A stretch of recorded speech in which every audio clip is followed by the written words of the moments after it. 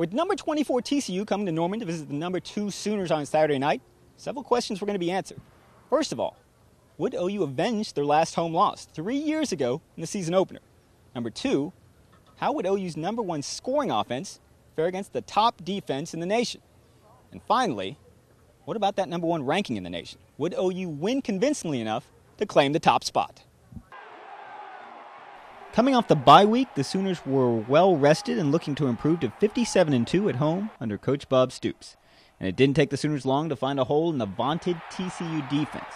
On the third play of the game, Sam Bradford found a huge tight end running free. Jermaine Gresham went 66 yards for the apparent score. The holding penalty would bring the ball back to the 28. That would be Gresham's only catch of the game. But a few plays later, Bradford pump faked and found Juaquin Iglesias open in the end zone for the 24 yard touchdown. Just over two minutes in, OU led 7 0. Iglesias finished with four catches for 63 yards. But if there's one thing the Sooners have struggled with this season, it's kickoff coverage. And wouldn't you know it, on OU's very first kickoff, TCU's Aaron Brown takes the kick and goes streaking down the sideline, all the way to the 11 yard line before being caught by Lindy Holmes. Oh, OU would keep the Horned Frogs out of the end zone. TCU would kick the field goal. Oh, OU led 7 3. On their second drive of the day, the Sooners would methodically drive down the field, 80 yards in 4 minutes and 40 seconds. This 26 yard pass to DeMarco Murray over the middle could OU down to the 8. Chris Brown would eventually score from one yard out.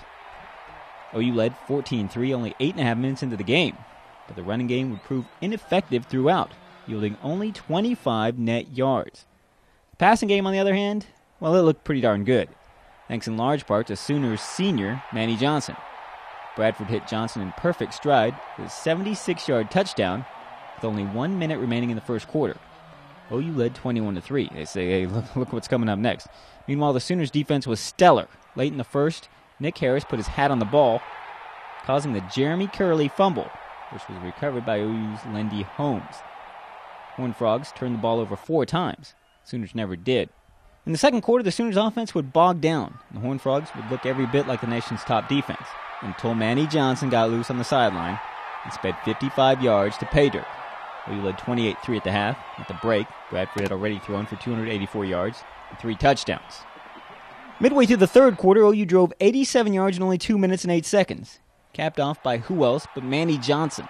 This time, Bradford throws the quick little pass, and a plethora of perfectly executed blocks leaves Manny in the middle, all by himself racing toward the end zone, this time from 63 yards out. OU led 35 3.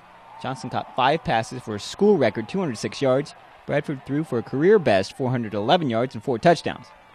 Bob Stoops gets win number 101 as the Sooners do what no other top four team could do this weekend avoid the upset.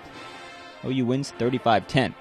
Afterwards, Stoops praised Manny Johnson's performance. I told him that's one of the best performances by a, wide receiver we've had here in 10 years. You know, I'm always careful to say the best because I'm liable to forget one or two, but it's it's it ranks up there as with about any we've had. Yeah, I wouldn't think I no nobody. I don't think we're planning to have a, a night like that. But you just gotta uh, go out and play, have a great practice. I mean, we knew they'd be man, so we knew the opportunity would be there. But I don't think any any one person would think they'd do some stuff like that.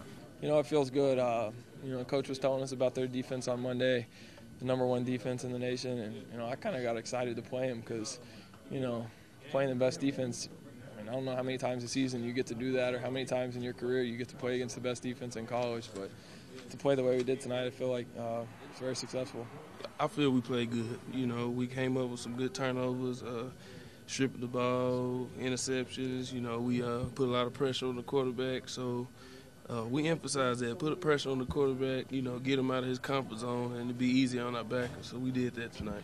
Well, it's, it's always a process. I, I, I, you feel good. We've we've played – overall pretty well. So it's you're getting into conference play now. You just have to keep getting sharper, you know. And as you practice and as you play, you, you hope you, you clean some things up and that you, you continue to play better as you as you're challenged more.